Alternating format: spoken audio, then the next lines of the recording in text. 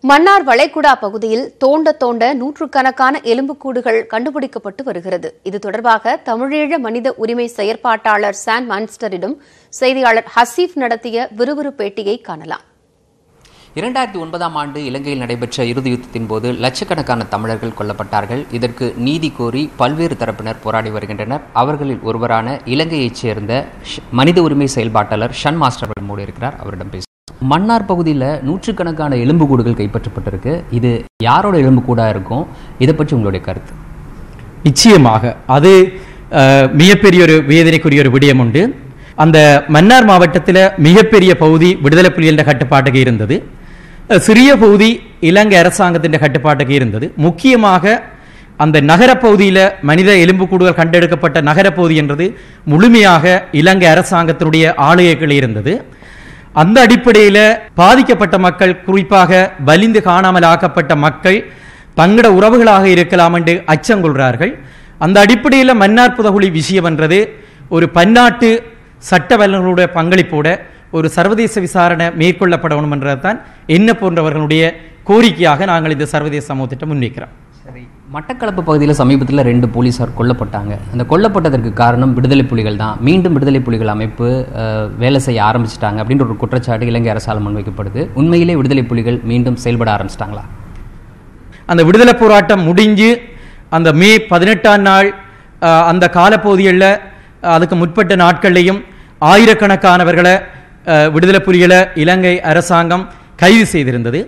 பன்னீராயிரத்துக்கும் மேற்பட்ட போராளிகளை தாங்கள் கைது செய்த வேண்டும். அவர்களுக்கு மிகவும் கொடூரமான முறையில் அவர்கள் சித்திரவதை செய்யப்பட்டு ஒரு குற்றுயிராகத்தான் மீளெழுச்சி பெறாத வகையில் தான் அவர்களை விடுதலை செய்திருந்தது. அண்மக்காலமாக அந்த விடுதலை செய்யப்பட்ட புனர்வாழ்வு அளிக்கப்பட்ட போராளிகள் ஒரு அரசியல் நீரோட்டத்துக்கு வந்திருக்கிறார்கள். அவர்களுடைய ஜனநாயக ரீதியான முயற்சிகளை தடுக்கக்கூடிய வகையில் தான் வவுனதீவில் நடந்த அந்த போலீசார் மீதான படுகொலையோட இலங்கை அரசாங்கம் பார்க்குது.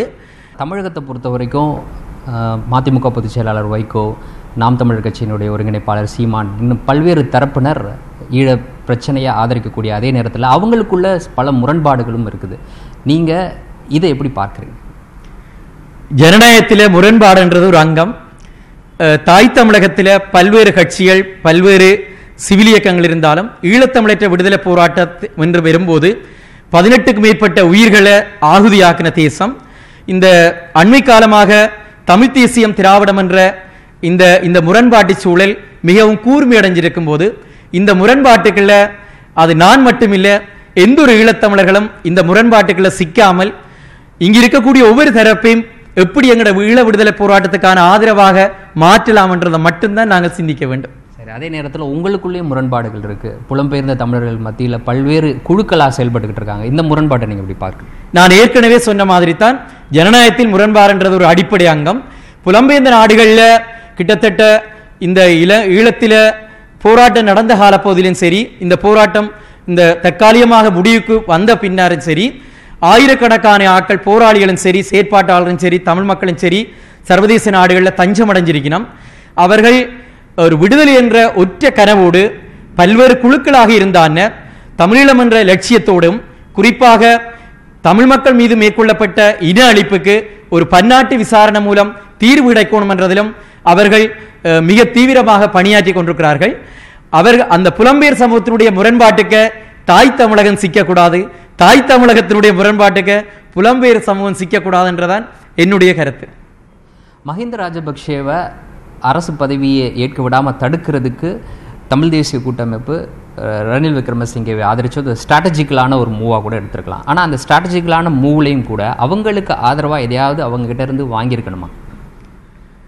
மஹிந்த ராஜபக்சவும் சரி ரணில் விக்ரமசிங்காவும் சரி தமிழ் மக்களை திட்டமிட்டு அழிச்ச ரெண்டு பேரும் கட்சியினுடைய தலைவர்களாக இருக்கிறார்கள் எங்களை பொறுத்தவரையில் அங்கே ஏற்பட்ட நெருக்கடியில் தமிழ் தேசிய கூட்டமைப்பு அப்போ ரணிலுக்கு ஆதரவான நிலப்பாட்டை சம்பந்தர் எடுக்கும்போது ஒரு எழுத்து மூலமான உடன்படிக்கையை தமிழ் மக்களுடைய கோரிக்கைகளை முன்வச்சு ஒரு வலிமையான உடன்படிக்கையை செய்திருந்தா தான் அது தமிழ் மக்களுக்கு பாதுகாப்பாக இருந்திருக்கும். எங்களை பொறுத்தவரையில் தமிழ் மக்களை திட்டமிட்டு தமிழ் தேசிய கூட்டமைப்பு இந்த விடயத்தில் ஏமாற்றியுள்ளார்கள்.